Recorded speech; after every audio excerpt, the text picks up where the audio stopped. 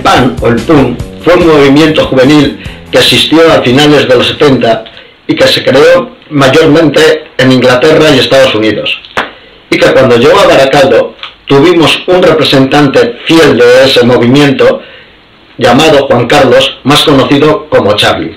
¿Qué, ¿Cómo te trata la gente de Baracaldo? ¿Sienten que te quieren o, te ven como un bicho raro? Siento que me quieren. Mucha gente aquí me quiere de verdad.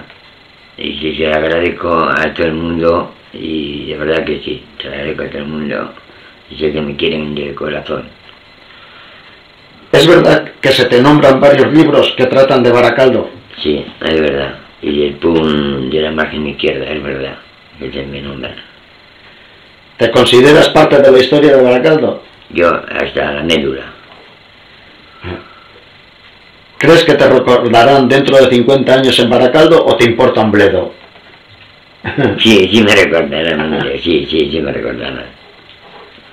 a mí me gustaría que me recordasen como buena persona que he sido con todo el mundo y, sin sentarme con nadie, ahí he estado siempre ayudando a la gente lo que he podido y, y, así soy yo. No hay punkis en Baracaldo y eso ya, el, el punk se acabó en Baracaldo ya, hay cuatro, cuatro de, de los de antaño, los demás nada, no, no existen. Bueno, a mi manera soy feliz. Ah, ¿Qué voy a, hacer? ¿Qué voy a hacer? A mi manera soy feliz.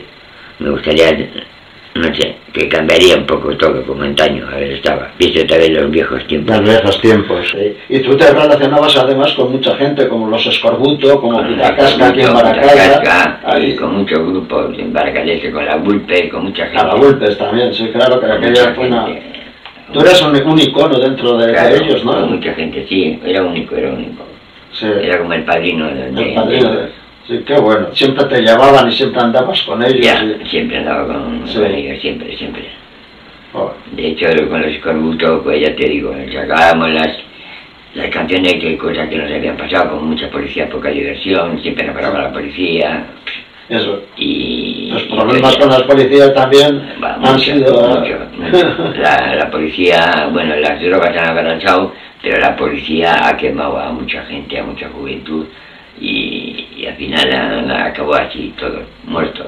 Yo me busco la vida con vendiendo pañuelitos, grito pañuelitos por la calle, la gente que me quiere y me, quiere bien, me da la, voluntad que pueden y se los agradezco con todo mi corazón y, les doy los pañuelitos y buena suerte a todos los baracaldeses y baracaldesas y todo el mundo que me conozca y yo soy así y bueno, y moriré así, porque soy un tío por mi camino, creo yo, no sé.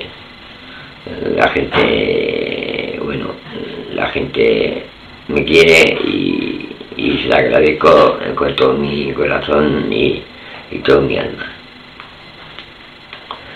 Sí, a Ruba, a mi amigo Ruba y a muchos amigos que tengo por ahí, como eh, Josu, el de,